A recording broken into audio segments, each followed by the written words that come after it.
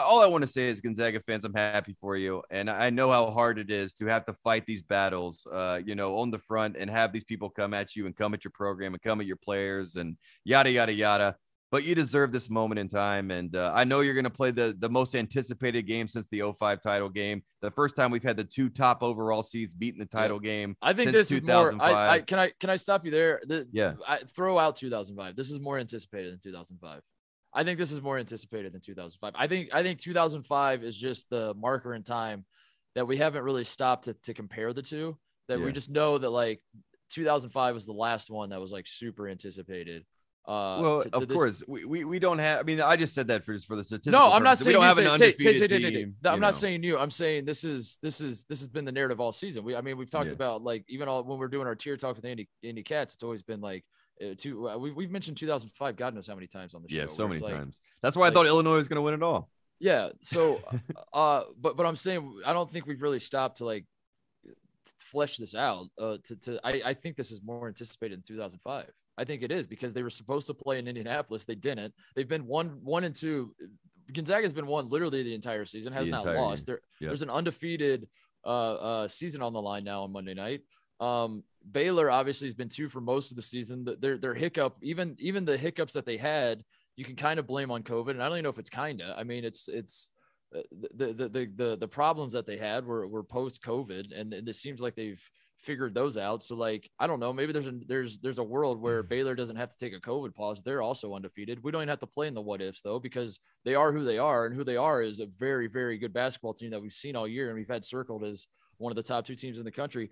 Uh, I think this is more anticipated in 2005, and especially after tonight because we got exactly what we needed, Tate. Yeah, exactly yeah. what we needed. We needed Gonzaga to look susceptible to for mm. for guys like me who have believed heavily in them to say, "Oh, oh, okay," and we needed Baylor to look awesome. That's exactly what happened. Now, you know, if if if if Gonzaga was going to play Baylor tonight, I would have been pretty confident Gonzaga was going to win. I would have yeah. been pretty confident. Now, after what I witnessed tonight, I I don't know where I'd land, and that's mm-hmm. all I've ever wanted was like I yeah. needed a reason to believe that Gonzaga could lose even if they play well.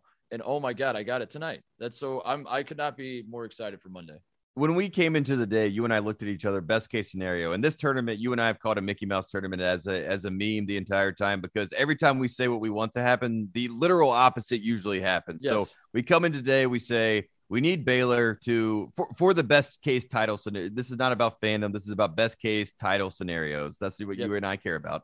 We came in and we said we need Baylor probably to blow out Houston to get us like fired up about the idea that Baylor has a real shot against Gonzaga, and we need UCLA to keep it within 10 was pretty much what you and I had said to each other. And the fact that UCLA takes them to overtime, the fact that they had chances to win this game down the stretch. Yep.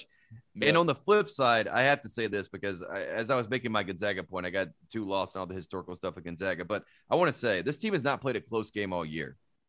And yeah. the fact that they were in a close game, the fact that they were able to respond, the fact that they never panicked, the fact that Mark Few obviously has coached these guys situationally to know how to handle these moments without having them actually play in these moments. Mm-hmm. One says a lot about preparation of this team, and two says a lot about preparation and mentality of these players themselves. Because I'm not going to lie to you, Titus. If I'm undefeated in Indiana, with all of the history behind me in Bob Knight State, mm-hmm. thinking about the 1976 Hoosiers and seeing a team like UCLA with John Wooden and John Wooden statues all, all around you. I, As you're I'm driving into Lucas Oil, you're driving downtown, you see I'm, the the John I'm freaking out. I'm freaking yeah. out. I'm getting tight and I'm and I'm concerned. And give Corey Kispert, give Drew Timme, give Ayayi, give Suggs, uh, I mean, Nembhard, all those guys credit because they never faltered. They never wavered. They continued to fight despite all the things going against them. And also kudos to the coaching staff because that is coaching. That is getting yeah. players prepared to be in a fight. And, you know, I don't think Gonzaga went in this game thinking it's going to be an easy game. You know, as much as everyone in America is like it's going to be a 10, 15 point blowout, they, pro- yeah, I mean, me too. What do you like? Yeah. I, I raised my hand, of course. It was a 14 was point spread. Vegas thought that. I said on part of my take, uh, and I quote, "No chance." hey, well, no you're right. UCLA wins. You, you, Which, by the way, right. uh, I was right. You know, it's a, it's a. they, they, did not win. I knew. Uh, I, I crunched all the numbers. This was yeah. the. This was one of the situations I saw. This was. But give the, kudos to Gonzaga because as yeah. we move to Monday, I'm hoping that we get another tight game, another close game, and uh, I, I, know Baylor can execute in those moments. Obviously, they've had some games this season where we've had to see that. Gonzaga, we hadn't had that, and now we do have actual mm-hmm. tape on them being able to handle it. And uh, I mean, I think it makes Monday even more anticipated. I think it makes it even more fascinating.